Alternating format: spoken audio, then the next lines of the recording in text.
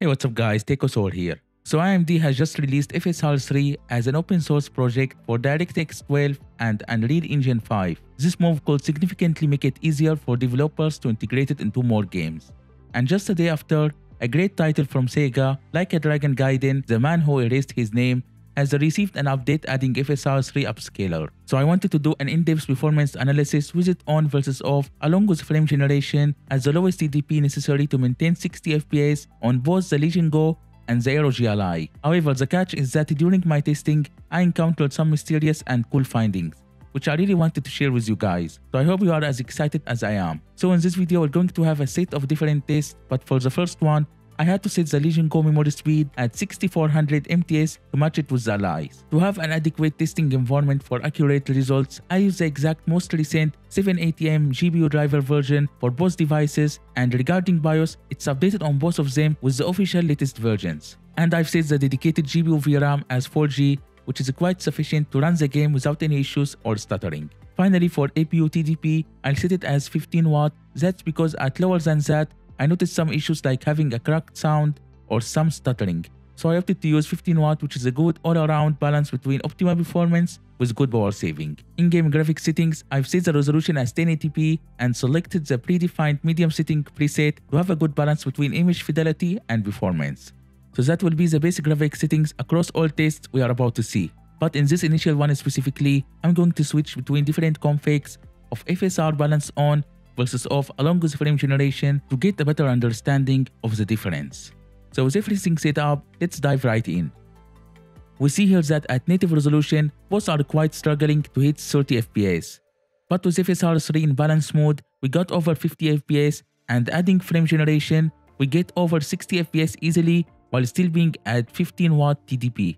Surprisingly though, even with the same memory speed and the drivers, the Legion Go got a better performance in all three different scenarios as we can clearly see here. There is a gap of up to 7 to 8 FPS in the frame generation comparison.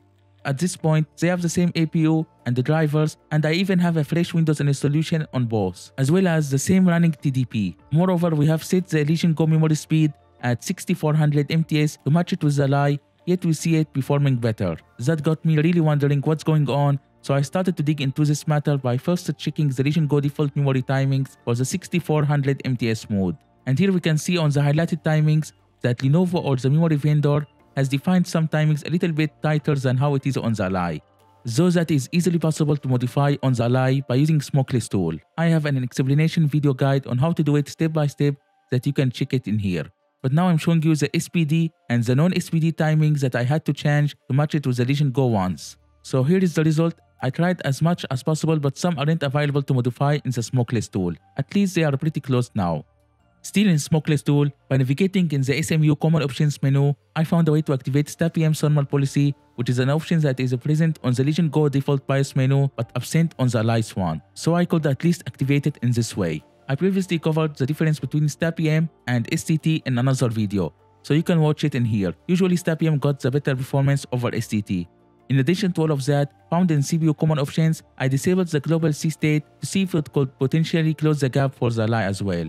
But despite all those changes, it's still better on the Legion Go. We may have got 1 or 2 FPS increase in best case scenario, but there is still gap between the Legion Go and the Ally at the same power TDP. On this same scene running at the same settings, it's clear there's like 7 to 8 FPS difference on average when using FSR 3 and frame generation on. But it's also in this instance where I noticed that the Legion Go GPU clock is a little bit higher on average. The ROG Ally seems to have a higher CPU clock but rather a lower GPU one which seems like the opposite case on the Legion Go. Now we know that usually GPU clock quite matter in most modern games, especially like 400 MHz difference could make a good change. So maybe that could be the root cause of the performance gap we are getting. To confirm that, I went ahead and installed on my Ally the Ryzen Universal Tuning tool found in GitHub and here you can adjust both the CPU and GPU clock. In this case, I wanted to mimic the Legion Go GPU clock on the Ally so I tuned the GPU minimum clock slider to 1400 MHz and the maximum to something like 1500 MHz. But as you can see as I do that, the GPU VRAM clock went down as the GPU core started to eat power from the VRAM in order to reach our defined minimum clock which is quite interesting given that on the Legion Go it's boosting to 1400 MHz, yet the VRAM isn't being affected at all. Even FPS graph shows weird fluctuations and stuttering as opposed to before when it was at least stable. I tried different combinations and you see that at 1100 MHz, it's a sweet spot for the GPU clock to not eat from the VRAM one at 15 watt TDP. Another answer to this could be behind the different memory types. I did some research about both models used on my Ally and Legion Go units, and we all know that the Legion Go has LPDDR5X that could reach up to 7500 MTS, while the Ally is equipped with LPDDR5 at a rated speed of 6400 MTS. Both my units' memory manufacturer is Samsung, and based on their claims, LPDDR5X is more power efficient in comparison to LPDDR5 by 20%, so maybe that gap we are seeing is for the fact that the memory on the Legion Go requires less power and thus it's allowing the GPU clock to boost higher at the same TDP. That could theoretically be the cause. To get the Legion Go FPS on the Ally, I had to dial up the TDP to 17 watt and you can see that in this way, it did not reduce the VRAM clock while still having over 1400 MHz GPU clock and a great CPU clock as well. That made me think that the Legion Go engineers made the power management in a way to prioritize the GPU core clock along with the VRAM over the CPU. Or maybe it's Ally in need of a BIOS update or something that could allocate more GPU power budget at lower TDP. Like the scaling between 1100 and 1400 MHz translate to about 8 FPS difference in this example.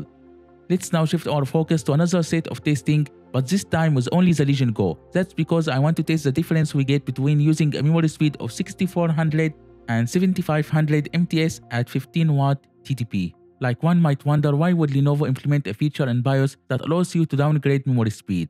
To answer that, I previously made another video comparing both in a set of games. I came to understand that for example at TDP of 15 watt, we usually start to lose performance when we use memory in 7500 in comparison to 6400 MTS. Maybe because memory start to require more power and that affects in reducing the GPU clock. I found that this gets solved at higher TDP like 20 watt or more. Even in this test, we see similar results. At 15 watt, we got better performance on 6400 rather than 7500 by about 3 FPS on average, which all align with the previous results we got. Now finally for the final test, I also wanted to compare the two thermal policies we got on the Legion Go, STT versus STAPM. Also previously in my other video testing this, STAPM got the upper hand with the cost of a minimal skin temperature increase. Also in this test, STAPM performs a tad higher than STT. So in conclusion, while the Legion Go 6400 MTS with STAPM as the thermal policy actually gives the highest performance possible at 15 watt TDP. Now even though Sega was generous enough and updated the game to support FSR 3, it still needs better optimization because sometimes with the frame generation on, it crashes randomly, especially in cutscenes. That could be addressable with game patches, so I'm hopeful they fix it as soon as possible. Now finally here, I'll show you some gameplay demonstration on both devices with the new AMD HYPR-RX Eco mode that basically reduce input lag and limit FPS to 60 for a consistent good performance while potentially saving power. So overall, thanks to FSR3 with frame generation enabled, both the Ally and the Legion Go would now reach a new level of smoother gameplay while running at lower TDP, which ultimately gives you the possibility to extend your enjoyment without sacrificing your handheld battery life. So I'm really excited for more developers to start including this set of tech into more games. I really hope nobody thinks I'm siding with one product or claiming one is better than the other. I'm just trying to tell the difference based on my taste and to help you guys know that as well. In the end, I really hope you found this video useful and enjoyable. If you liked it, give it a thumbs up and subscribe to TechOsaur to be up to date with all my latest content. Thanks for watching and see you on the next one.